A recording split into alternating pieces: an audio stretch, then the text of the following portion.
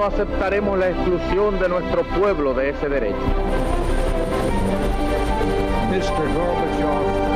Tear down this wall.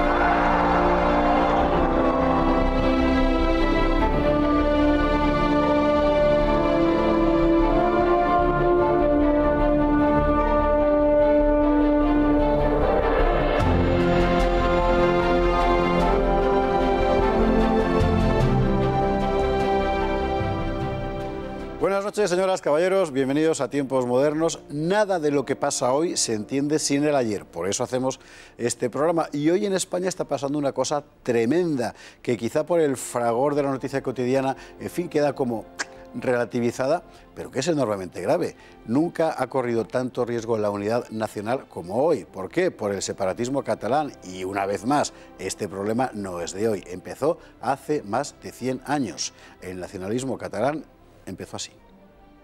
Una cosa es el catalanismo, otra el regionalismo catalán, otra el nacionalismo y aún otra más reciente, el separatismo. Hoy todo ha venido a darse la mano en el mayor desafío que ha sufrido la unidad nacional desde 1934.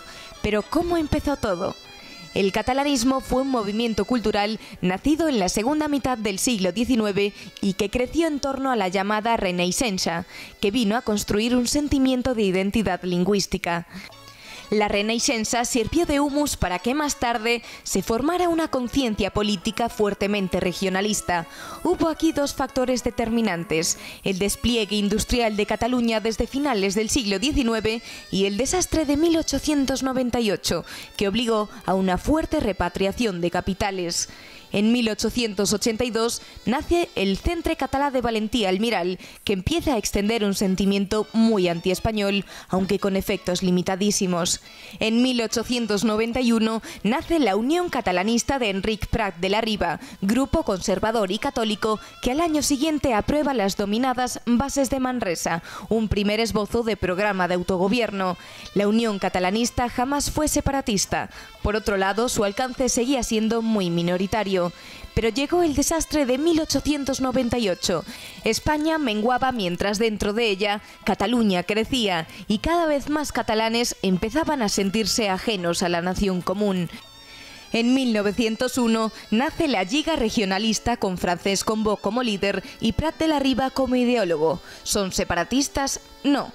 De hecho, ni siquiera son propiamente nacionalistas. La Liga Conservadora y Católica defiende los intereses de los industriales catalanes, reclama de Madrid un arancel proteccionista, el que se llamará arancel Cambó, y aspira a una autonomía política para Cataluña sin romper con el resto del Estado. En 1907, el catalanismo político ya era la primera fuerza de la región. A sus aspiraciones corresponderá la creación de la Mancomunidad de Cataluña en 1913. Este regionalismo autonomista irá derivando en nacionalismo y finalmente en separatismo algo más tarde, en los años 20, a partir del autonomismo republicano de Companys y el abierto independentismo de Maciá. Y así empezó todo.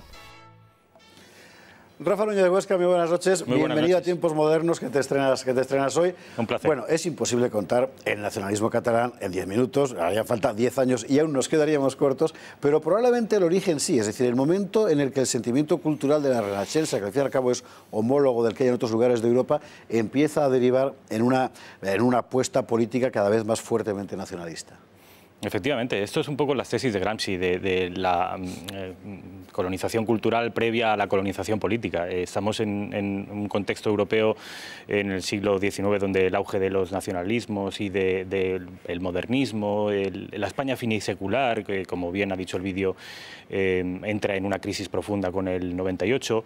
Estamos en un contexto en el que la monarquía está mm, desprestigiada, estamos en un contexto donde todo el siglo XIX mm, adolece de un liberalismo nacionalizador español, al contrario que pasa en Francia.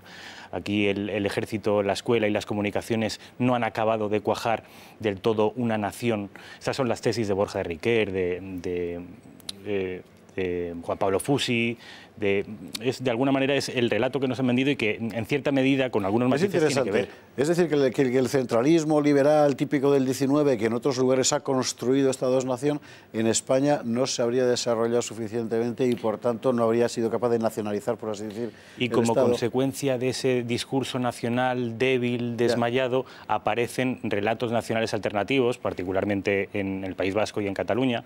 En primer lugar en Cataluña y luego en el País Vasco, que da la casualidad también, o no, no es casualidad, que como bien dice el vídeo, pues tienen, experimentan un auge industrial que como consecuencia de eso eh, sienten cierto desapego o cierto eh, rechazo a lo que consideran la España castellana, porque además la denominaban así, Valentía Almirall, que de alguna manera es el, el precursor del nacionalismo, en este caso de izquierdas, luego vendría eh, Prat de la y Cambó con el nacionalismo eh, de derechas, Valentía Almirall hablaba de, de construir una suerte de, de- de España al estilo austrohúngaro, es decir, que el eje de poder pasara de Castilla, de Madrid, a, eh, de alguna manera, eh, la costa y en particular Cataluña, en tanto que ellos eh, se consideraban pues, mucho más aptos para dirigir los, los destinos de la nación.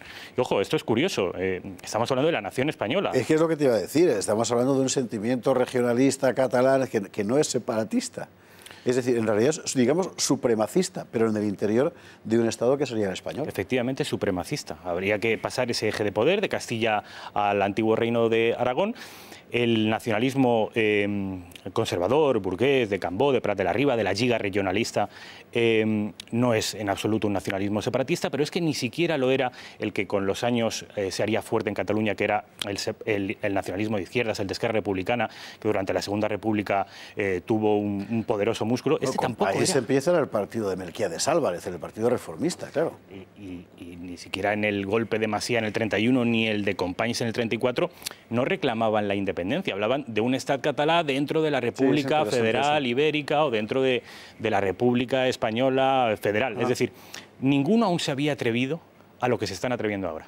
Por, por no, por, por no, no apartarnos del origen, porque ya habrá tiempo para hablar de, otros desarrollos, el momento en el que la Renaissance empieza a adquirir eh, mm, músculo político, digamos, estamos hablando de 1890, 91 más o menos, pero de la arriba empieza a funcionar, a trabajar, hasta ese momento del, del entorno del rescate de la literatura catalana, de la lengua catalana, etcétera, han aparecido obras como la de Musén Cinto Verdaguer, que hay pocas cosas menos separatistas que, que Jacinto Verdaguer, ¿verdad? Pero hay un momento, lo cuenta Prat de la Riva en sus memorias, en el que eh, ellos deciden apostar, él dice literalmente Prat de la Riva, por el odio. Hasta ese momento se había creado una conciencia catalanista muy escasa y en un momento determinado esto solo funciona si cogemos el asunto del odio a Castilla, específicamente a Castilla, y lo dice Prat de la Riva así, con un par. Sí, eh, ellos emprenden una labor de ingeniería social eh, a pequeña escala por el momento, en el que la primera fase estaría basada, y así lo dicen, eh, en, en el amor a, a las tradiciones catalanas, a un, a un derecho particular, a una lengua olvidada, a, a unas tradiciones medievales, a un eh, neocolonialismo mediterráneo, pero ese amor eh, vira en odio a partir de un cierto momento, porque dice literalmente que con el amor eh, el espacio eh, demográfico social está limitado. Y es a partir de ese momento cuando, cuando nace un, un relato hispanófobo, que es el que acaba calando, y que el propio Cambó dice que reconoce que en los primeros años, a finales del 19 e incluso en los primeros años del 20, eh, Cataluña no estaba ni mucho menos empapada de nacionalismo. Y dice literalmente que, que hay un catalanista por cada comarca y- generalmente era el loco del pueblo. Es decir, es. Yo Sí, siempre sí. digo que el nacionalismo Es catalán verdad. es la historia de un verdadero éxito. Cómo en 100 años, en un siglo que, que- que empieza antes de ayer, han conseguido eh, bueno, pues lo que tenemos hoy en día, que es una región española que siempre fue, estuvo a la vanguardia de todas las guerras, que por ejemplo en la guerra del 98, en el, en el, drama nacional del 98, que luego no fue tan, tal drama, pero eh, eran los primeros en mandar voluntarios y que estuvo siempre a, la vanguardia de- del patriotismo español, eh, ¿cómo ha conseguido en solo 100 años envenenar el cuerpo social catalán hasta hacerles creer que de verdad son otra cosa? Es muy interesante. Seguramente habría sido imposible de no ser porque en un momento determinado el catalanismo, digamos que se sube encima de la reivindicación de clase de la gran burguesía. Y esa es la obra de Cambo, que sin ser un separatista, pero conservador, católico, etcétera y tal, Apoyó a Franco luego. y- de que se apoya a Franco en la guerra civil, es él en realidad quien con su programa que es de eh, protección específica de los intereses de la gran burguesía industrial catalana, gana para la causa separatista, perdón, gana para la causa catalanista a los industriales o al revés, no sé muy bien. Bueno, en realidad mm, lo que hace Cambó es, eh, de alguna manera, heredar el corpus ideológico de, la derecha conservadora española, de Marcelino Menéndez y Pelayo, que hablaba de una patria en clave regionalista, casi. Y lo que hace Cambó es reivindicar la patria chica dentro de una patria grande. Y para eso seduce, eh, em, mediando eh, una crítica al gobierno y al Estado de Madrid, que no a la nación española, y seduce a la alta burguesía catalana que entiende que probablemente con razón, que el Gobierno de Madrid eh, funciona eh, mal, que es un nido de corrupción, que la monarquía está desprestigiada y que hay que dar un golpe de timón. Pero eh, eso no significa en ningún caso que, esa burguesía catalana, industriosa, ese catalanismo incipiente tuviera nada que ver, bueno, tuviera nada que ver con el separatismo. De hecho, ya digo, la prueba más palpable es que en el 36 Cambó es uno de los financiadores de los financiadores del alzamiento nacional. El experimento tiene tal éxito que hacia 1907 eh, la Solidaridad Catalana, como se llamó, es una coalición de grupos catalanistas de todo pelaje, es la fuerza más votada con diferencia en las legislativas en toda Cataluña. Y ahí te encuentras Catalanistas, pues, separatistas, poquísimos. Catalanistas, digamos, tradicionalistas, herederos del carlismo. Te encuentras burgueses reformistas que apuestan, prefieren apostar por una formulación, digamos, catalana de su sensibilidad. En realidad el catalanismo es un sitio donde cabe todo el mundo porque no tiene más definición que nosotros somos los de aquí y ya está pero es suficiente para que se convierta a partir de ese momento, 1906, 1907, 1908, en la fuerza decisiva. Solidaridad Catalana eh, eh, logra 41 de 46 eh, diputados y genera a partir de ese momento algo que ya... Mm, un estatus irreversible en la política catalana y es que crea su propio sistema de partidos particular. Hoy sabemos que... con su derecha y su izquierda propias, Exactamente, con su CIU, que es el PP, con su PSC, que no es el PSOE, con su Esquerra Republicana, tienen un, un modus operandi diferente que, se, elaboró hace 100 años y que no ha perdido. Y que esa, esa intención, eh, seguramente, eh, ese afán o esa vocación bien intencionada de, desarrollar Cataluña a la vez que desarrollamos España e incluso de, ser nosotros el timón de España, eh, acaba prostituida, bueno, ya a finales de la década de los años 30 pero sobre todo, y esto entiendo que dará para otro programa, cuando se la segunda restauración, cuando en el 75 muere Franco y cuando se elabora un nuevo sistema democrático de partidos que recogen la herencia, pero la peor herencia del catalanismo, no la mejor.